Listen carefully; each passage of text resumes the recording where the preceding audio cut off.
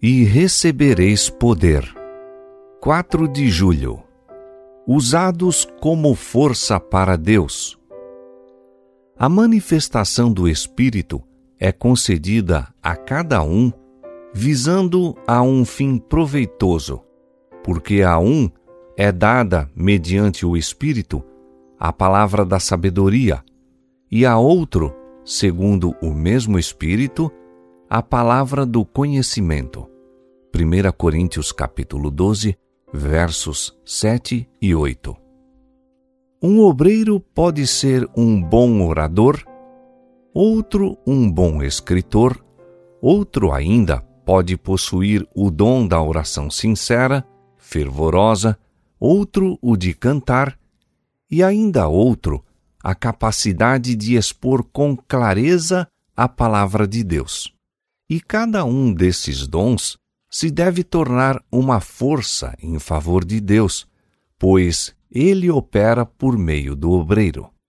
A um dá o Senhor a palavra da sabedoria, a outro, conhecimento, a outro, fé. Todos, porém, devem trabalhar sob a mesma direção, isto é, tendo a Cristo por cabeça. A diversidade de dons conduz à diversidade de operação, mas é o mesmo Deus que opera tudo em todos. 1 Coríntios 12, 6. O Senhor deseja que seus escolhidos servos aprendam a se unir num esforço harmônico. Talvez pareça a alguns que o contraste entre seus dons e os de seus coobreiros é demasiado grande para permitir que se unam em esforço assim harmônico. Mas, ao lembrarem que há variedade de espíritos a serem atingidos e que alguns rejeitarão a verdade apresentada por um obreiro, abrindo o coração à verdade de Deus ante o modo diferente de outro, eles hão de esforçar-se esperançosamente por trabalhar juntos em união.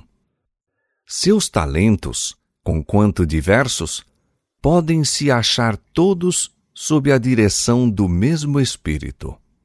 Em toda palavra e ação, manifestar-se-ão bondade e amor. E ao ocupar cada obreiro fielmente o lugar que lhe é designado, a oração de Cristo em favor da unidade de seus seguidores será atendida e o mundo conhecerá que esses são seus discípulos. Os obreiros de Deus devem unir-se uns aos outros com amorável simpatia e confiança. Aquele que diz ou faz qualquer coisa que tenda a separar os membros da Igreja de Cristo está anulando os desígnios de Deus. Disputas e dissensões na Igreja, nutrir suspeitas e incredulidade são desonrosos para Cristo. Deus deseja que seus servos cultivem afeição cristã uns pelos outros.